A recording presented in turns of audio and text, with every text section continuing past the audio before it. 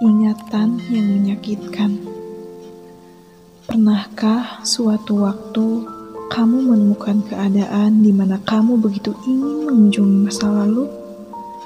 Meski hanya melihat keadaannya lewat sosial media atau bertanya pada teman-teman terdekatnya. Jika pernah, bagaimana perasaanmu setelah mengetahui kabarnya? Dia yang baik-baik saja, dia yang sudah berbahagia bersama penggantimu tentunya.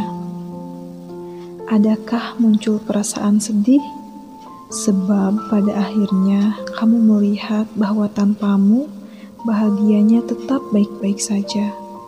Bahkan sekarang dia jauh terlihat lebih bahagia bersama penggantimu, yang mungkin penggantimu jauh terlihat lebih baik darimu. Menyesalkah kamu? Kamu pernah begitu baiknya dicintai, dijaga, dikhawatirkan, dipeluk dalam rasa sabar, dan dimiliki dengan penuh kesetiaan. Tapi kamu lebih memilih untuk meninggalkan demi seseorang yang lain. Seseorang yang sekarang juga pada akhirnya meninggalkanmu demi seseorang yang baru.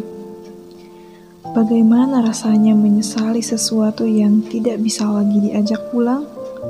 Iya, memang seluka itu rasanya.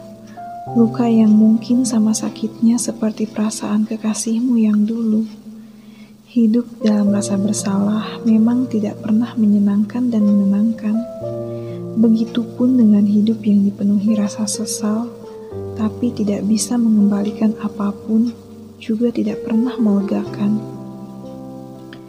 Mungkin kamu telah memeluk maaf dari kekasihmu yang dulu, tapi setelah pergimu dengan kekasih yang baru, barangkali dia telah berjanji menutup rapat-rapat pintu hatinya untukmu. Bahkan, sekalipun sebuah penyesalan pada akhirnya menjadi pengakuan.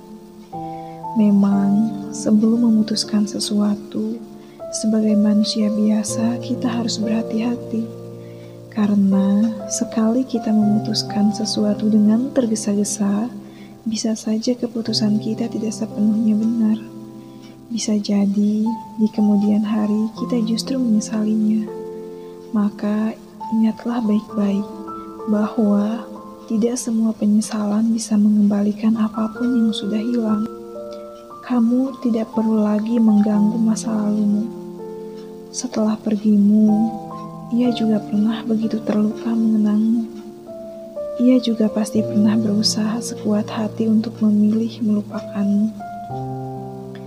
Barangkali kamu tidak pernah tahu bahwa mungkin ia pernah berharap untuk menjadi yang terakhir di hidupmu.